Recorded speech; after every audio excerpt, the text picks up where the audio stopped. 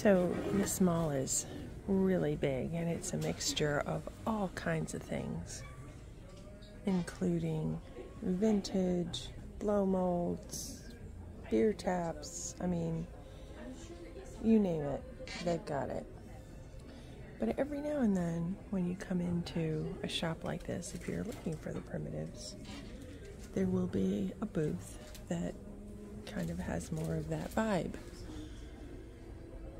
So, the good thing about going to some of the really um, well displayed, well collected primitive pieces is to get a better idea of what you're looking for when you have to decide in the mix of all these other things what might be a primitive piece that's just hidden in the midst of all of the other. So I will just keep hunting. Well, this mall has loud music in the background, so I'm not sure you'll be able to, if I'll even be able to um, put this online. But I saw something here. My husband is a fan of IPAs, and I thought this might be an interesting Christmas present. These are the taps for on uh, a beer tap, and I thought Boss Tweed for Tweed Thistle might be kind of cute, and maybe we'll start a collection.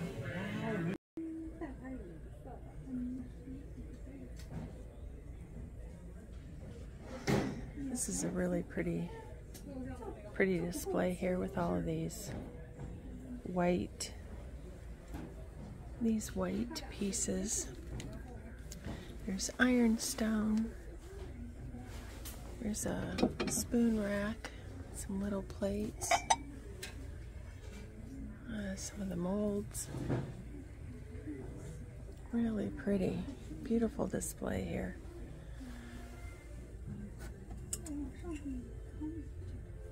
That's really pretty, that matte vase. that white, I think that might have to come home with me for our flower farm.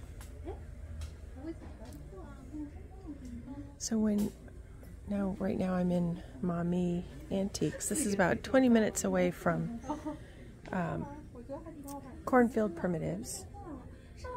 And there's all kinds of different things in this mall. It's very vintage looking and um, but there are some there are some real antique booths so you just have to hunt and that's kind of part of the fun. So when you go to one shop, you want to hit a few others, and you definitely would be able to have some fun here at Mommy Antiques. But this would be more of a hunt to try to locate these primitive antique style. And did? Well, look at that. See that card there for Seville Antiques? This is Michelle's booth. And I was looking for that here in the mall. So Michelle, shout out to you because your style comes across in each of your booths. I was looking for this one here in the mall. Love those those blue bound books. That's pretty. That would be really pretty together.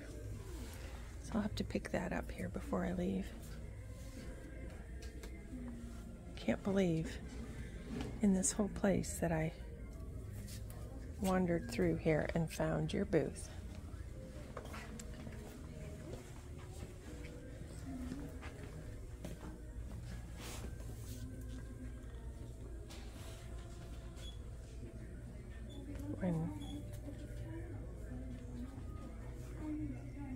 Right across the hallway are a bunch of jewelry and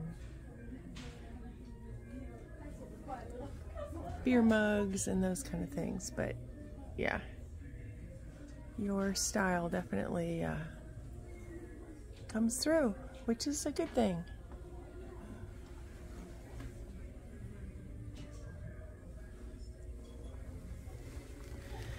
There's some neat shelf holders. Pretty bowl. This one has the lip. As you know, that's what I'm always looking for.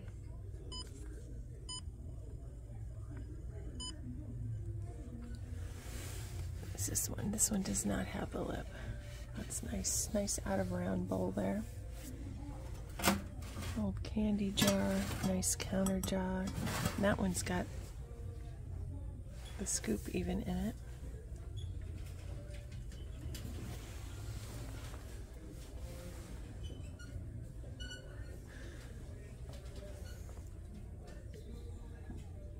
Pretty needlepoint chair.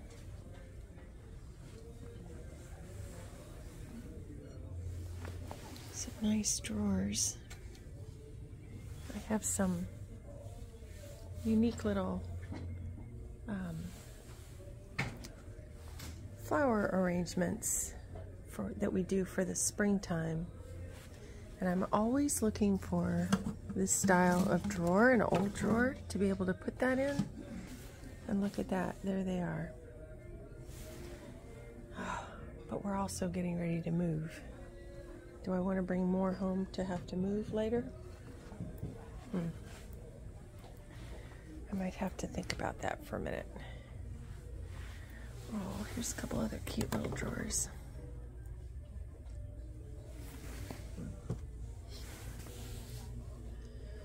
There's a neat sign. Antiques. Bought and sold.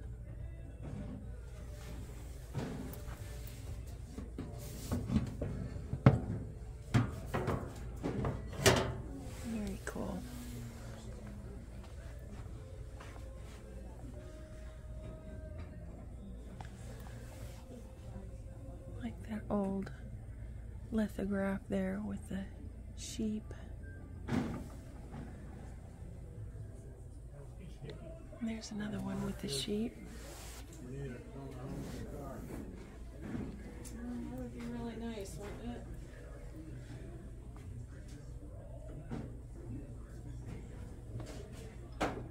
Pretty little piece of decorative molding, that cornice there.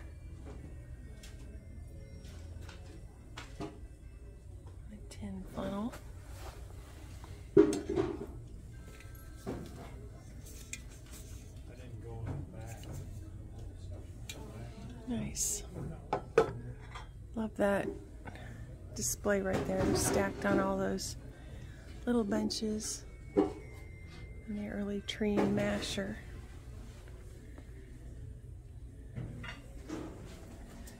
All right, I don't know if they have baskets at the entrance, but they should. Something to hold when you are buying things here. Maybe I missed that.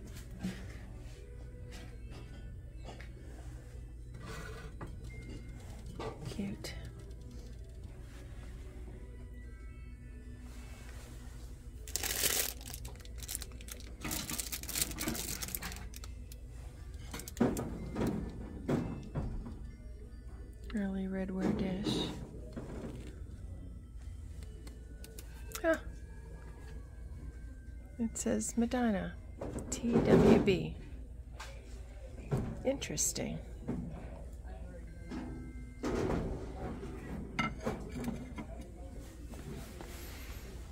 Some neat little baskets down here, and that looks like that's an early, maybe a little emery.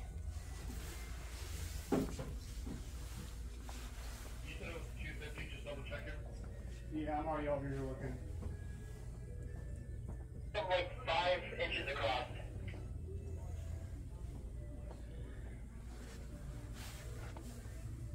It's pretty here in this this cabinet. I like that old white cabinet too. Very pretty.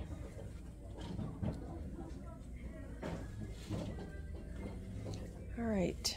Well, I think I'm going to take that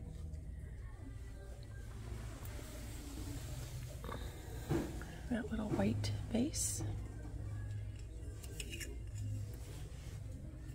and I have to decide which of these sets of blue books will come home with me.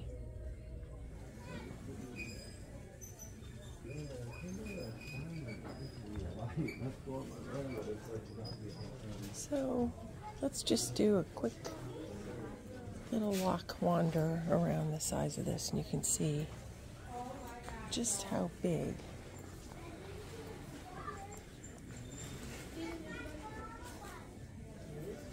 And over the years of collecting antiques I can kind of almost scan from the outside of the booth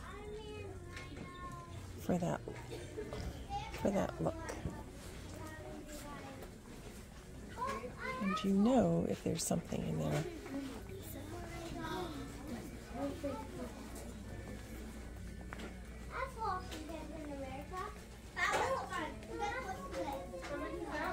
take a closer look at.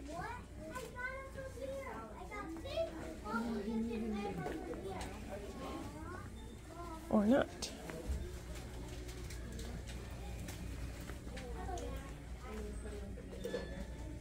How much is that one? That one's cool.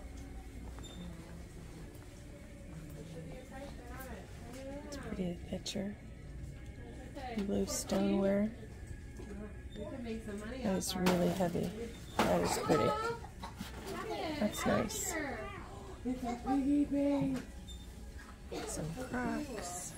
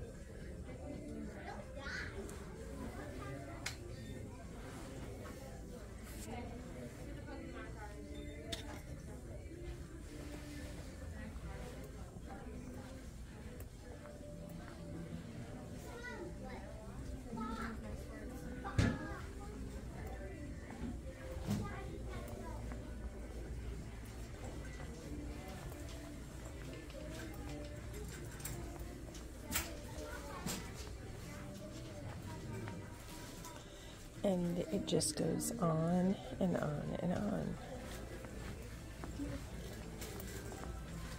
You could definitely get lost in here.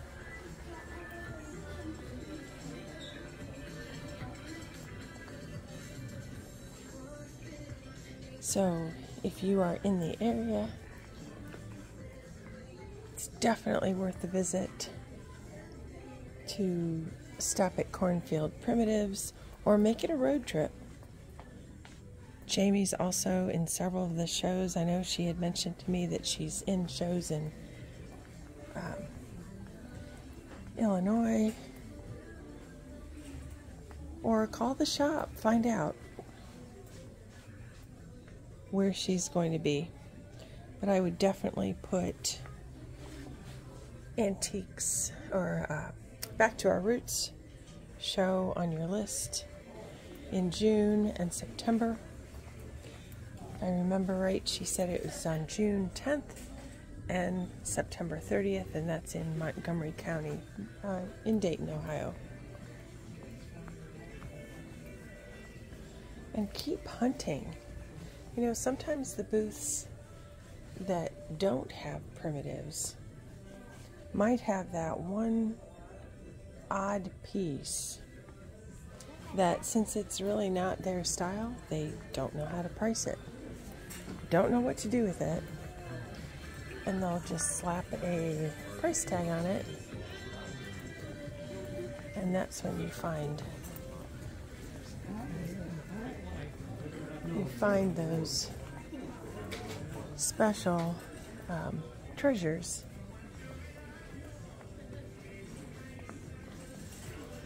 In the big antique malls. All right, I am signing out. I've got more places to take you, more things to show you, but at the very least, Michelle's booth here in this mall is worth worth a visit. There's somebody else I was looking for here, and I just don't don't find him. It was another exceptionally primitive vendor, and he has a couple of booths. And unfortunately, I have just not not come across it.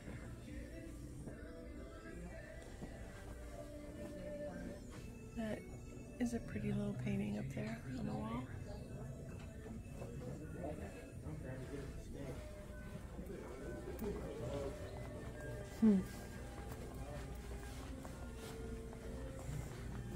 The fun thing, too, about a shop like this is that if you come with friends and you're a primitive collector and they're not, but maybe they like vintage or they like to collect comic books or something else, there's so much of everything in this shop that they would enjoy the visit too. Oh, now here is some primitives.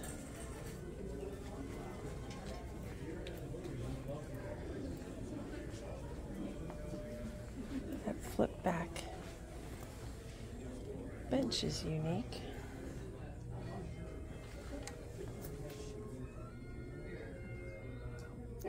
Tilt top table.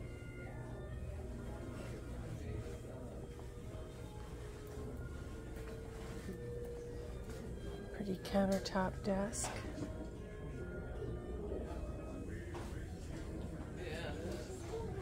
And that's green painted.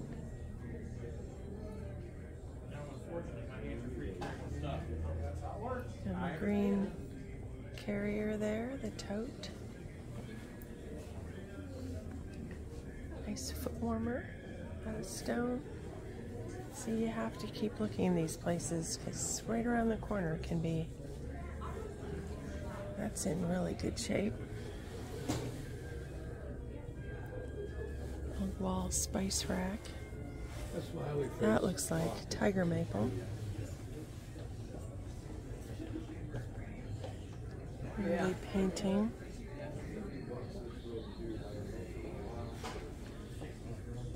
Pretty children's shoes. It's on this side. And it's fairly far up. Oh, hold on one second, I just wanna look at this too. Yeah, for someone who never wants to come, look at that stuff. Isn't this nice? This is uh, another primitive booth here. This may be the ones I was looking for. Hey, Marge. Oh, now look at that. Do those look familiar? That's like what I showed in my parents' home. My dad has one of these. Fremont Council Knights of Columbus is what they call it. The lion's head stamp. Hmm. Interesting. It's a doorstop. The nice little tin scale pan. That's nice. Not a bad price for that either.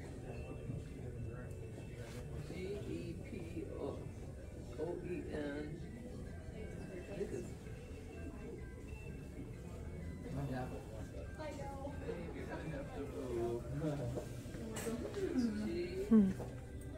Boot scraper.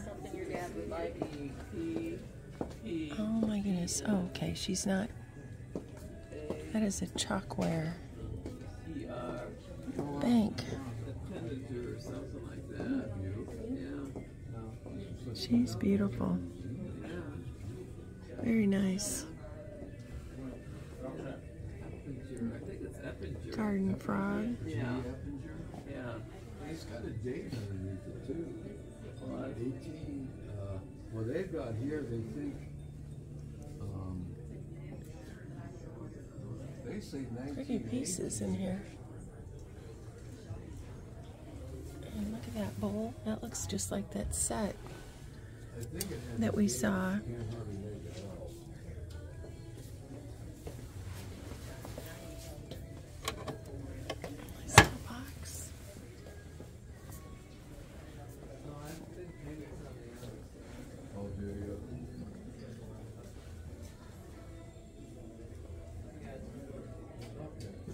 Sweet little doll cradle there in a unique blue.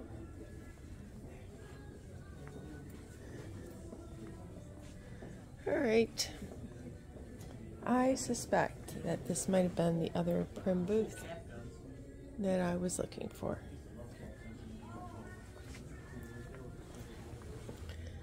It's a neat cast iron pinwheel vent in old paint. So keep hunting. You know, if you've driven by his shop a million times, maybe it's time to go back in if you haven't in a while, because you just never know what you're going to find.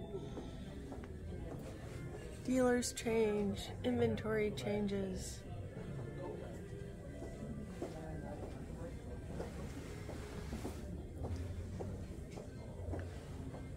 And sometimes something that suddenly becomes popular because it's been in a recent magazine featured and then it's something that you're looking for. That's interesting. Brass candy apple butter thermometer. Look at that. Never seen one like that. That's to put in a very large vat.